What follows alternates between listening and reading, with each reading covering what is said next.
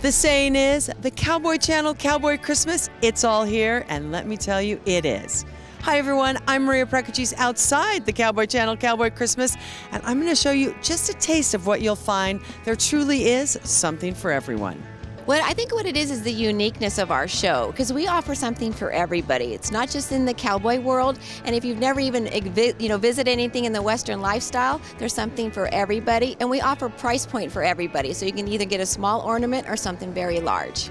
And I've been here forever. It's 33 years that I've done this show, and I love the show. We've been coming here for the, almost 20 years now. And we come back every year because it's fun, first of all, and our customers have become regulars. They look for us. My reward has had to be the number one thing that people come and say, I've been looking forward to coming to your booth year after year. Sometimes people will walk out and will come back multiple times throughout the day to keep doing more and more shopping and just walking out with a very happy smile. It's just what makes it all worth it. They have a variety of um, great style stuff that you can't get anywhere else. I'm from South Carolina. Um, it's just, you know, great people, great selection. Wonderful people from all over the country. This is a big deal here, and all of us are so happy and proud to be here. We're honored and privileged to be here.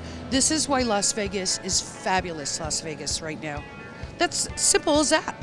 Make sure you get upstairs where Cowboy Christmas continues with more great vendors. This is my first time here at Cowboy Christmas, and it's a it's a great venue. We've got tons of uh, wonderful booths.